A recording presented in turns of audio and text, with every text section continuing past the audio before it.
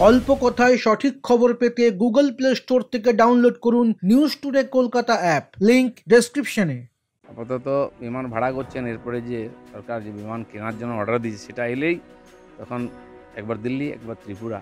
পশ্চিমবঙ্গের কাজ হয়ে গেছে এখন ত্রিপুরাটাই উন্নত করতে হবে সেই জন্যই যাচ্ছে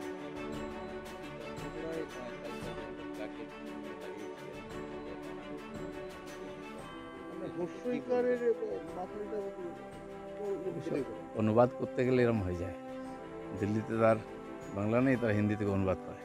যাই হোক, আমরা এটা আপনাদের পাবলিসিটি করার জন্যই চান্স দিয়েছি, অনেকে কমেন্ট করার সুযোগ দিয়েছি।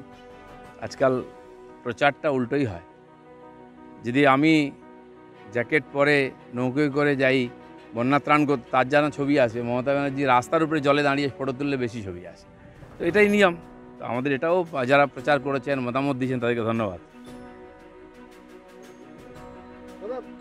তৃণমূলের একটা অভিযোগ যেটা ত্রিপুরাতে আপনার অর্থাৎ বিজেপি সরকার ওখানে রয়েছে, পুলিশ দিয়ে দমন করবার চেষ্টা চলছে, যারা তৃণমূল করছে তাদের বাড়ি থেকে রেড করা হচ্ছে, জেলে ঢোকানো হচ্ছে, রীতিমতো সন্ত্রাস চালানো হচ্ছে। ত্রিপুরাতে তৃণ- তৃণমূল কে করে? কার বাড়িতে রেড করবে? কার সময় আছে? এখান থেকে যারা ওখানে উৎপাত করতে গেছিলেন, যেমন লোকসভাতে পনেরো দিন ধরে উৎপাত করে টেবিলে দাঁড়িয়ে কাগজ ছুঁড়ে অসম্মান, অসভ্যতা করলেন ঠিক এই অসভ্যতার রাজনীতি সারা ভারতবর্ষে ছড়িয়ে দিতে চাইছেন, হিংসার রাজনীতি সারা ভারতবর্ষে ছড়িয়ে দিতে চাইছেন। পশ্চিমবাংলায় কোনো নিয়মকানুন নেই, যে যা ইচ্ছা করতে পারে। ত্রিপুরায় নিয়মকানুন আছে, পুলিশ আছে, সরকার আছে। তো তারা সেখানে যে প্যান্ডামিক সিচুয়েশান চলছে লকডাউন চলছে, সে যে ডিজাস্টার ম্যানেজমেন্ট অ্যাক্ট সেটা যারা ভাঙবে তাকে অ্যারেস্ট করবে। যারা ওখানে গিয়ে বিনা কারণে অশান্তি করবে তাকে অ্যারেস্ট করবে। সরকারের দায়িত্ব আছে এটা। টিএমসি সরকার কেবল বিজেপির জন্য আইন করে রেখেছে, কিন্তু ওখানে সবার জন্য আইন সমান। তাই ওখানে যদি কেউ আইন ভাঙে তাকে সরকার তার সাজা দেবে, তাই করেছে। না, দেখুন, যার সঙ্গে যদি আমার দেখাও হয়ে যায়, রাস্তা কারোর সঙ্গে, কোনো অফিসারের সঙ্গে বা অন্য তাদের পার্টির নেতার সঙ্গে তাকে বদলি করা হবে, তাকে আর সাজা দেওয়া হবে। তো সন্দেহ বসে আজকে সরকারি অফিসারদেরকে কষ্ট দেওয়া হচ্ছে। শুভেন্দুবাবুর সঙ্গে কার পরিচয় আছে, কার সঙ্গে দেখা করেছেন, কার সঙ্গে ফোন করে কথা বলেছেন, তাদেরকে সঙ্গে সঙ্গে সাজা দেওয়া হবে। এটা কী ধরনের রাজনীতি? যারা ত্রিপুরায় গিয়ে আমাদেরকে রাজনীতি শেখাচ্ছেন, তারা তো কমপক্ষে পরিষ্কার করুন। পশ্চিমবাংলায় আইন শৃঙ্খলা নাই।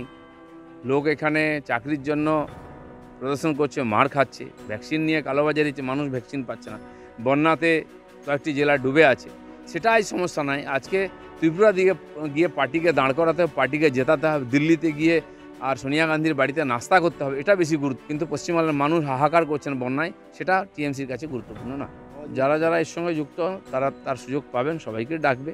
কোর্টে কেস চলছে। এবং এমনকি পশ্চিমবঙ্গ যে হিংসা ইত্যাদি নিয়ে মমতা ব্যানার্জি বলছেন, কিছু হয়নি, তা নিয়েও কেস চলছে সব কিছু সুযোগ আসবে এবং সব কিছু আমার মনে হয় সমাধান হবে।